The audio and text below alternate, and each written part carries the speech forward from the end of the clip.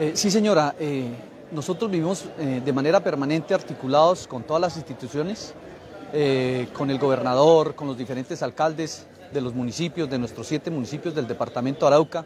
vivimos trabajando de la mano con la Fiscalía, con la Procuraduría, con nuestra Policía Nacional de manera coordinada, con el fin de poder nosotros llevar este trabajo que marque una diferencia y que nos permita mostrarle resultados al pueblo araucano. En general, la guerrilla del ELN en un comunicado dice que hasta el 23 de agosto no atacará la fuerza pública en Arauca. ¿Qué mensaje le da ¿Qué, le puedo, ¿Qué lectura le puedo dar yo a ese comunicado que, saca el ELN? Pues que ellos definitivamente durante el tiempo que duró el cese bilateral eh, con el gobierno nacional en este proceso de paz, aquí en Arauca no han respetado el cese bilateral.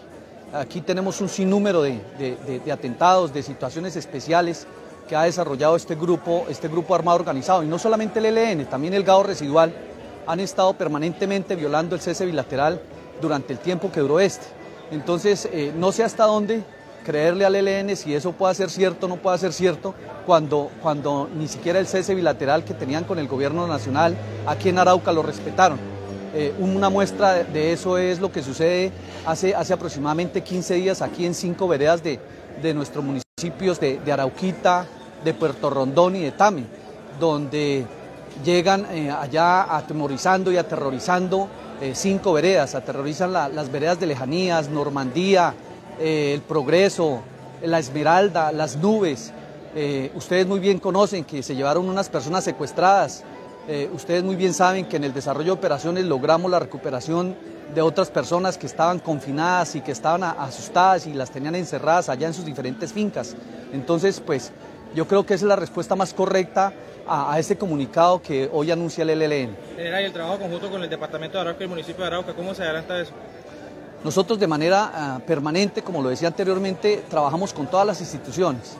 Eh, hoy nuestro alcalde, eh, seguramente más tarde, les va a dar un anuncio muy importante de, una gran afectación que viene sufriendo la población civil acá en, Arauca Capital.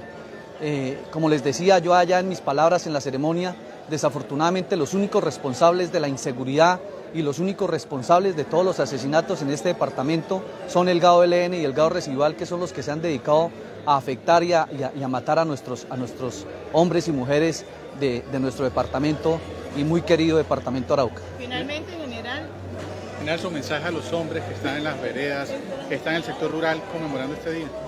Bueno, decirle a mis soldados de la patria, decirle a mis oficiales, a mis suboficiales, y a mis soldados, como, como todos los días eh, lo digo en, el programa, y es enviarles un saludo de agradecimiento por ese gran trabajo y esa gran labor que hacen estos hombres.